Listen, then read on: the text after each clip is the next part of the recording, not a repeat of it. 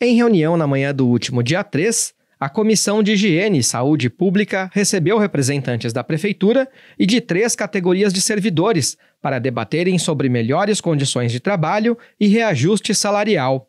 Estiveram presentes ao encontro representantes dos farmacêuticos, práticos de farmácia e tecnólogos do município, além do secretário de Saúde, Adam Cubo, e do secretário de Gestão, Elcio de Oliveira Júnior. Presidida por Geraldo Celestino, do Partido Mobiliza, a comissão intermediou a conversa entre os secretários municipais e os profissionais, que queriam um reajuste maior do que os 2% oferecidos pelo prefeito em projeto votado e aprovado na tarde do mesmo dia. Elcio explicou que o aumento não seria possível por conta da lei de responsabilidade fiscal e do prazo da lei eleitoral, que não permite mais a realização de concursos públicos ou a concessão de reajustes salariais a partir do próximo dia 9. Nós temos que cumprir a lei eleitoral em vigor, pleno vigor, temos que cumprir a lei de responsabilidade fiscal.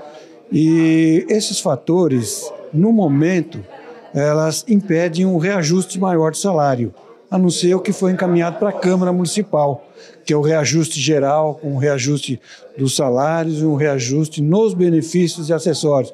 Vale refeição, vale alimentação, cesta básica, o abono, que compõem um conjunto de ganhos para o funcionário. Geraldo Celestino defendeu, inclusive, o direito dos funcionários de judicializarem a questão. Atualmente, 23 categorias de servidores municipais lutam por reajustes salariais. O vereador também destacou a importância de que o próximo governo pense em um plano geral de carreira para os servidores públicos, a fim de solucionar esse tipo de demanda.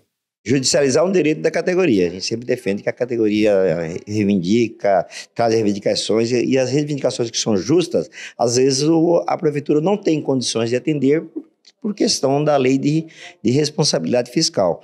Os tecnólogos é uma categoria pequena, está em torno de 28 aqui no município, e eles exercem a mesma função que o arquiteto. E eles vêm discutindo essa questão da, da equiparação salarial, pelo menos aproximar do, do arquiteto, já há mais de três anos. E recebemos eles aqui hoje, juntamente com o secretário de gestão, Elcio, o secretário da Saúde, o, o Ada, também veio para atender aí os farmacêuticos. O Ada também, que foi secretário de gestão do município, ele conhece bem a situação dos tecnólogos. E a, a nossa preocupação não é só essa categoria, é toda a categoria. Eu acho que o próximo governo tem que ter uma, uma responsabilidade, a organização, de organizar todo o servidor municipal num plano de carreira geral, para evitar que essas categorias separadamente façam as suas reivindicações. Então, você aprovando um, um plano de carreira geral para a categoria, vai melhorar muito mais o funcionamento da cidade.